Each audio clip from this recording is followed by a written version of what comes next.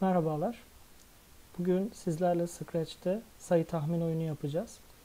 Bu Scratch eğitim videolarına birkaç gün içerisinde sıfırdan başlayarak düzenli bir ders içeriği oluşturmayı planlıyorum. Şimdilik birkaç tane ilginç bulduğum, öğrencilerin de ilgisini çekeceğine inandığım ve içeriği itibariyle de faydalı olacağını düşündüğüm bazı oyunlar çekerek bu Scratch eğitim videolarına başlamayı planladım. İlk oyunumuz da sayı tahmin oyunu olacak. Şu an ekranda Scratch 2 versiyonunu görmektesiniz. Birkaç gün içerisinde başlayacağım düzenli eğitim videolarında ilk video Scratch'in ne olduğunu anlatarak başlayacak aslında. Burada da Scratch'in amacı, içeriği, versiyonları üzerinde de duracağız. Fakat Scratch 2 versiyonu kısaca söylemek gerekirse son 12 yıl içerisinde üretilmiş olan ve genel kullanıma açılmış olan 3 temel versiyondan ikincisi. Bundan önce 1.4 ve bundan sonra da 3.0 versiyonları var. Arada kalmış bir versiyon. Bu versiyon üzerinden bu örneğimizi yapacağız. Öncelikle sahnemizi ve sahnede kullanacağımız karakteri seçerek oyuna başlayacağız. Sahne bölümüne tıklayarak kütüphaneden yeni bir dekor seçiyoruz. Burada şu brick wall dekor, dekorunu kullanacağım. Karakter olarak da varsayılan olan bu Scratch'in meşhur kedi karakterini siliyorum. Ya da iki versiyondaki adıyla kukla, 1.4'te karakter. Kütüphaneden yeni bir karakter seçiyorum. Fantezi karakterlerinden sevimli bir karakter. Gobo karakterini seçerek bu işlemi de tamamlıyorum. Şimdi Gobo'ya komutlar vereceğiz. Öncelikle bu oyunun başlatan komut kontrol ve olaylar bölümünden yeşil bayrak tıklanınca komutu. Burada e, aslında Scratch'te bir animasyonu, bir oyunu başlatacak 3-4 e, temel e, komut vardır. Bunlardan en kullanılanı, en çok bilineni de yeşil bayrak tıklanınca komutudur. Yeşil bayrak tıklanınca burada oluşturacağımız algoritmanın sırayla yerine geldiğini göreceğiz. Öncelikle karakterimizin bizlere bir karşılama mesajı, konuşma balonu şeklinde görünecek bir karşılama mesajı yayınlamasını istiyorum. Görünüm başlığı altındaki bu konuşma balonu komutunu aldım ve buradaki içeriği değiştiriyorum. Merhaba. Aklımdan bir sayı tuttum. Aynı komuttan bir tane daha alıyorum. Bu sayıyı tahmin etmeni istiyorum. Şimdi Gobo bu noktadan sonra bize sayının ne olduğunu soracak. Tahminimizin ne olduğunu soracak. Ve bizden bir yanıt bekleyecek. Bunu sağlayan komut algılamada sor ve bekle komutu. Buradaki soruyu yine biz değiştiriyoruz. 1 ile 100 arasında bir sayı tuttum. Bu sayı sence nedir? Şimdi bu noktadan sonra bu komut çalıştığında konuşma balonu şeklinde bunu söyleyecek ve sahnenin altında bir text box açılacak. Bizim oraya bir yanıt girmemiz beklenecek. O yanıtı yazıp Enter'a bastığımızda da programa iletilecek. Bu noktada bir değişken oluşturmam gerekiyor. Bu değişken de Gobo'nun aklında tutacağı sayıyı saklayacağım bir değişken olacak. Burada değişken kullanmamın sebebi değişken e, adı üzerinde sabit olmayan bir değeri e, ifade etmektedir ve en önemli özelliklerinden birisi de program tarafından o değişkenin son değerinin hafızada tutulmasıdır, hafızada saklanmasıdır. Burada Gobo'nun aklında tutacağı sayı oyun her başladığında değişecek. Belirli sabit bir sayı olmayacak. Ve bu sayı bilgisayar tarafından hafızada tutulacak ki benim verdiğim yanıtla sürekli kıyaslanacak. Bu sayı onun tuttuğu sayı benim verdiğim yanıttan küçük mü, büyük mü, eşit mi sürekli bu sorgulanacak ve buna göre bana dönüş yapılacak program tarafından oluşturduğum değişkenin ismi tutulan sayı koydum. Şimdi değişken oluşturmanın aşamaları değişkeni oluşturup isim verdikten sonra ki biz bu ikisini yaptık şu anda. Üçüncü aşama değişkenin başlangıç değerini belirlemektir. Bu değişken bu program başladığında kaç olacak?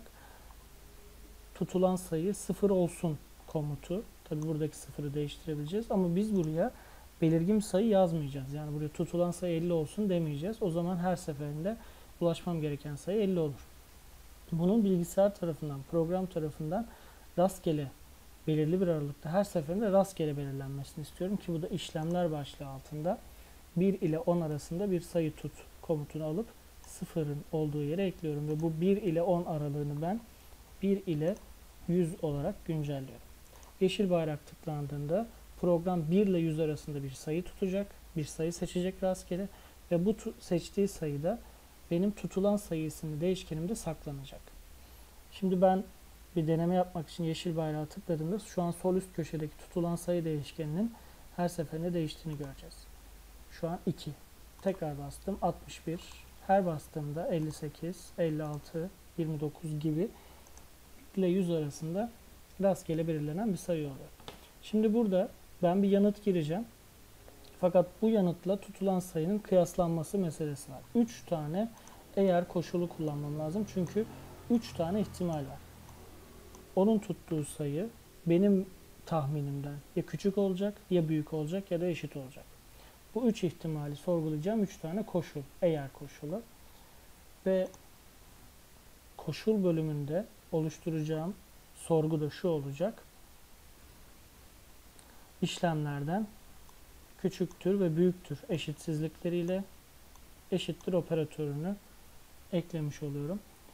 Ve bu eşitlik ve eşitsizliklerin bir tarafına hep tutulan sayı değişkenini diğer tarafına da algılamadan benim vereceğim ve oraya yanıt olarak gidecek olan tahmini.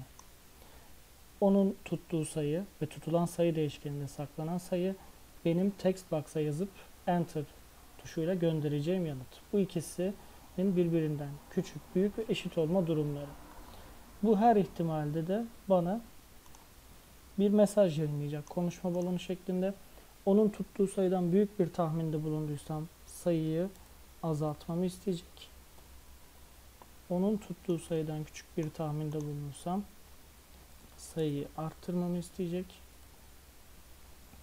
Onun tuttuğu sayı eşit bir tahminde bulunduysam tebrikler doğru cevap diyecek. Tabi burada şu an ben bu haliyle bu programı çalıştırırsam bu komutlar sırayla yerine getirilecek. Ben bir yanıt vereceğim. Bu üç ihtimalden herhangi birisi gerçekleşecek. Hangisinin gerçekleştiğine bağlı olarak bana bir dönüt verecek ve bitecek. Örneğin küçük bir cevap verdim. Tahminde bulundum. Sayıyı arttır diyecek. Ve bu koşulun dışına çıktığında burada başka herhangi bir komut olmadığı için burada bitecek. Ama ben bunun doğru cevap verilene kadar tekrar eden bir yapıda olmasını istediğim için döngü kullanmam gerekiyor. Kontrolden sürekli tekrarlı döngüsü. Burada hangi komutları döngü için alacağımıza gelecek olursak da e, ben bir yanıt verdiğimde tekrar başa döndüğünde nereden başa dönecek tekrar? Şimdi bunun tamamını döngü için alacak olsam her tahmin yaptığımda tutulan sayı değişir. Ya da her tahmin yaptığımda ikinci cevap için tekrar bana merhaba aklımdan bir sayı tuttum tahmin etmeni istiyorum mesajlarını yayınlamış olur. O yüzden buraları döngü için almak çok doğru olmayacaktır. Bunlar bir kez gerçekleşecek. Program başladığında değişken bir kez ne olduğu belli olacak. Bu mesajlar bir kez yayınlanacak. Fakat şu noktadan itibaren algılama komutu, sor ve bekle komutundan itibaren tekrar etmesi lazım. Zaten bu komut benim yanıt vermemi sağlayan komut. Buradan itibaren tekrar edecek. Fakat şu noktada da şöyle bir hata oluşacak. Çalıştırdığımızda hatta bunu görelim. Şu an 20 tutulan sayı. Onu birazdan gizleyeceğiz. Şu an test aşamasındayız. 15 yazdığında sayıyı arttır demesi lazım. Çünkü 20'ye ulaşmaya çalışıyorum. Sayıyı arttır dedi. 25 yazdığımda azalt demesi lazım. Bu da tamam. 15 yazdığımda tebrikler demesi, pardon. 20 yazdığımda tebrikler demesi lazım. Tebrikler doğru cevap. Fakat bir kez daha soruyor. 20 yazıyorum. Tebrikler doğru cevap. Bir kez daha soruyor. Çünkü sürekli tekrarla dedik ve doğru cevap verdiğinde tekrar etmemesini sağlayacak bir komut eklemedik. O yüzden doğru cevap verdiğinde kontrolde hepsini durdur komutunu eklersek tebrikler yanıtının hemen arkasından bu problemi çözmüş oluruz. Burada veri bölümünden tutulan sayı değişkeninin başındaki tek işaretini kaldırırsam onun da ekranda görünmemesini sağlarım. Ben bu oyuna son bir şey daha ekleyeceğim. Yine bir değişken. Bu değişkenin ismi de tahmin sayısı. Ben istiyorum ki doğru cevaba kaç tahminde ulaştık? Bunu görelim istiyorum. Ee, bunu da değişkenle tabii ki yapmamız en mantıklısı. Çünkü artacak tahmin sayısı, hafızada tutulacak son değer eklenecek gerekirse ve en sonunda ben son değerini, oyun bittiğindeki son değerini görmüş olacağım. Tahmin sayısı başlangıçta yine başlangıç değerini belirliyoruz. Üçüncü aşamada oluşturduk, isim verdik. Başlangıç değerini belirledik ve program içerisindeki değişikliklerini belirlememiz lazım şimdi. Hangi durumlarda artacak, azalacak, ne kadar artacak, azalacak bunlara karar vermeliyiz. Burada her tahminde yani sayıyı azalt dediği tahminimde de arttır dediği tahminimde de hatta doğru cevaba ulaştığım tahminimde de bu değişkenin bir artması lazım. Çünkü hepsinde bir tahmin yapmış oluyorum. Doğru cevaba ulaştığım tahminim bile son tahminimde olsa o da bir tahmin sayısı olmuş oluyor. O yüzden her üç koşulun içerisine de tahmin sayısını bir arttır komutunu ekliyorum. Şimdi yeniden yeşil bayrağı tıkladığımda tutulan sayı değişkeni az önce 20 idi. Bu sefer değişecek ve ben onu şu an gizledim. Görmüyorum. Bilmeden oynayacağım.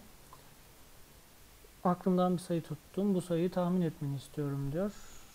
50 yazıyorum. Arttır dedi. Tahmin sayısı 1 oldu şu anda. 75 dedim. Hala arttır dedi. Tahmin sayısı 2. Hala arttır diyor 85'te de. 90'da azalt dedi. 87 doğru cevap. 5 tahminde doğru cevaba ulaşmış olduk. Bu noktadan sonra bu oyunu elbette ki çok e, farklı şekillerde geliştirebiliriz. Eklemeler yapabiliriz. Bunları dilerseniz yorum bölümünde de paylaşabilirsiniz.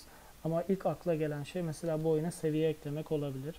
Ee, örneğin ilk seviyede 1 ile 25 arasında bir değişken e, tanımlayıp o aralıktaki bir sayıya ulaşmak. Sonraki seviyelerde bu aralığı arttırmak. Burada belki oynayan kişiye e, belli bir süre değişkeni tanımlayıp o süre içerisinde doğru cevaba ulaşmasını beklemek ya da bir tahmin hakkı vermek. İlk seviyede örneğin 10 tahminde ulaşmasını beklerken ikinci seviyede işi zorlaştırmak adına 8 tahminde ulaşmasını istemek gibi eklemeler çok rahatlıkla yapılabilir. Bu videomuz burada sona erdi. Diğer oyunlarda da, diğer örneklerde de görüşmek üzere.